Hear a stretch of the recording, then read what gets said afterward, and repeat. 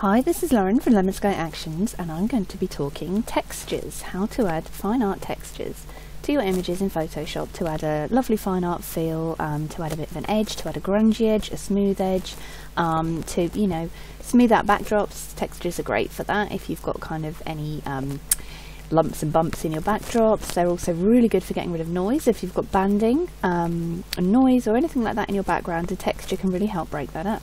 So I'm going to be using the Lemon Sky Fine Art texture overlays, but of course you can use your own. You can get them from um, other places. You can even take your own to use in your images. So you come up here, File, Place, and you know if you've got the Lemon Sky textures, you will have them up in a window like this. For this image, I'm going to use a blue texture, but I would say 90% of the time use one of the grey monochrome textures. Um, and I will show you why in a minute, but let's use, um, which one shall we go for? Let's go for stone. So there we go, and it places it in a transform box into your image. You can then kind of move this texture onto your image to fill the image as you wish. And there's our texture. Here it is, it's as a smart object. So I'm going to change the blend mode to overlay. I'd say the blend modes you want to use overlay, soft light, um, which is a bit more gentle than overlay, or multiply, which will darken your image. You can even add screen, which will really brighten the texture up. So I'm going to use overlay. So as we can see now, we have added this texture to the image, but it is covering the whole image. So I'm going to come down here um, to the layer mask box, which is a square with a circle inside, and add a layer mask. I'm then going to hit Control I, if you're on a Mac, hit Command I to invert it, and that makes it go black, which means it's invisible. You can get a brush, set it to white, um, on kind of a low opacity, and just start painting the texture in.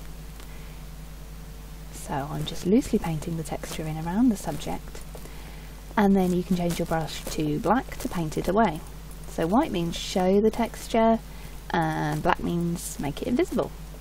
So there we go. That's on overlay.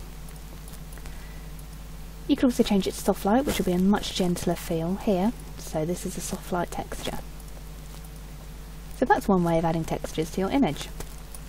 Another way, this is a black and white, and I'm going to go straight in for one of the monochrome textures. Um, which one shall I use? Let's use Impact.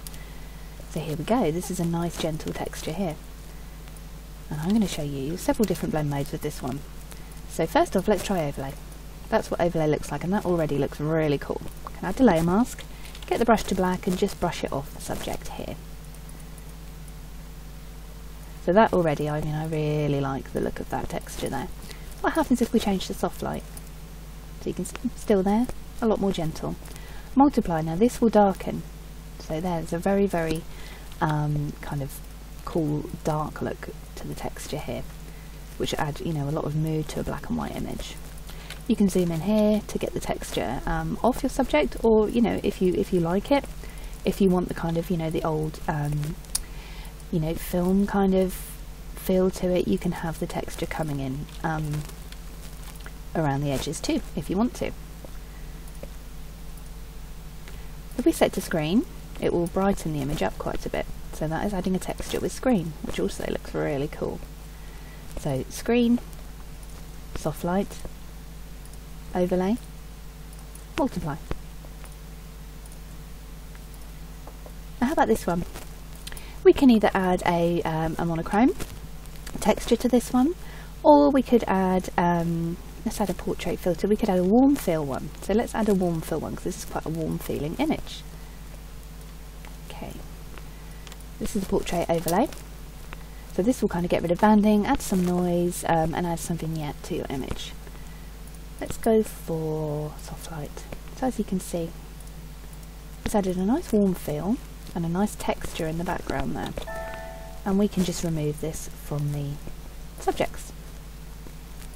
There with textures, every time it is place, um, you know, place embedded or place linked to your image to place it in as a raster. You can also copy it um, and paste it, even if you um, you can open up the folder of the textures and place them in drag them in from, you know, straight from their folder. There's lots of ways to get your texture on top of your image as long as it's a layer above with a layer mask on it, that's fine. So how about an outdoor image? How would you add texture to an image which already is very, very busy? Let's see. For this one I'm going to go for something um, quite interesting. Let's go for, uh, let's go for a peel grunge. And I'm adding it in a monochrome, but obviously you can add in one of the colours because that will also look quite cool. And let's go for screen. So this adds a very interesting effect to your image. Again, I'm going to mask it off and invert the mask so I can paint it in. And you can just kind of start painting this around the edges. But you'll add a very much old, kind of damaged uh, film feel to your image.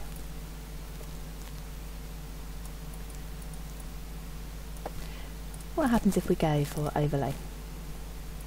It really starts bringing out the detail of the texture here, can you see?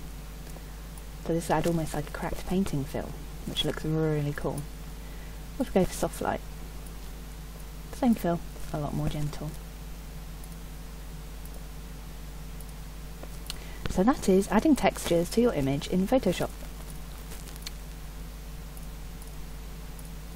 You can do so much with these um, that I really can't explain it in a really short video, a five minute video. But um, yeah, I hope that helps in how to add textures. The various blend modes up here. And adding layer mask to paint in um, or remove the texture from your subject.